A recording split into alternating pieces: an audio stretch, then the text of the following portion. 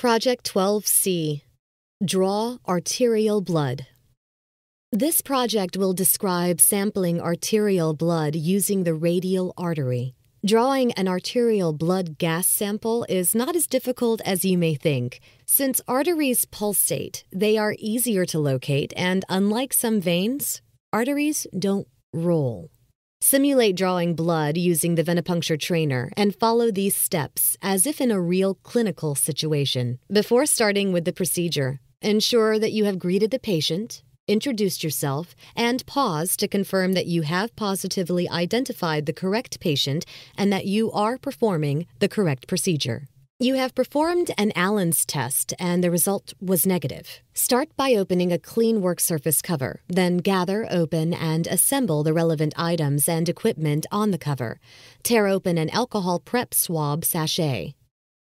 It is important to position the arm correctly. The patient should be seated comfortably. Patients in bed should be in the semi recumbent position, with the arm comfortably extended toward you wrist up, and extended with the skin over the radial artery taut. Perform hand hygiene, don sterile gloves, and disinfect the site with an alcohol wipe for 30 seconds and allow it to dry completely for another 30 seconds. With the fingertips of your gloved left hand, find the area of maximal pulsation of the radial artery.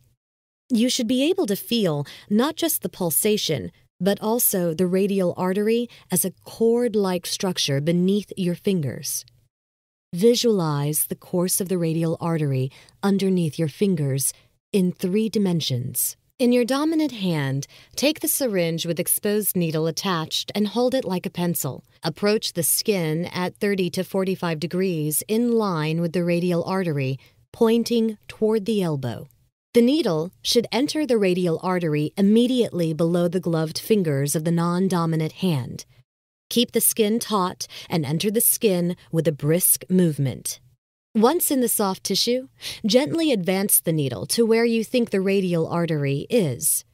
It is easy to go straight through the radial artery if you rush. You may feel a slight give as the needle penetrates the wall of the radial artery. Once the needle enters the artery, you should see a flashback of blood pulsating into the syringe. If you don't see blood, you have missed the artery and will have to withdraw the needle somewhat and then re aim the syringe toward the pulsating artery. Instruct the patient not to move the arm or wrist in order to prevent the needle from becoming dislodged. Blood gas syringes fill automatically, stopping at an average of 2 milliliters. If using a regular syringe, you will have to stabilize the syringe with your non dominant hand and, with your dominant hand, gently withdraw the plunger of the syringe. Once the syringe has filled or sufficient blood has been collected, hold it steady to prevent air aspiration and then withdraw the needle. Immediately place a gauze pad or cotton ball over the site and firmly apply pressure for 5 to 10 minutes. Use a tourniquet over the cotton ball to apply pressure.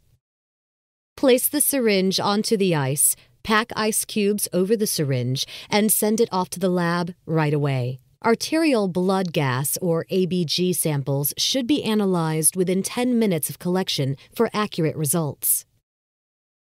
Discard all sharps, such as used needles, syringes, and potential sharps like glass items, into a puncture resistant sharps waste container. Place other items like used gloves and all items contaminated with blood or body fluids into the infectious waste bag. Recheck labels and requisition forms for accuracy. Perform hand hygiene. Monitor the site and extremity for a while for any sign of circulatory problems, nerve damage, or any other complications. To practice drawing arterial blood with the venipuncture trainer, do the following. Fill a 10 milliliter syringe with fake blood and connect to the smaller vein and let it run through the tube. Now tightly occlude one side of the smaller vein. Ask a person to sit opposite from you and have them press down on the plunger of the syringe with moderate, pulsating pressure to simulate the pulsations of an artery. Perform the simulation procedure for drawing arterial blood.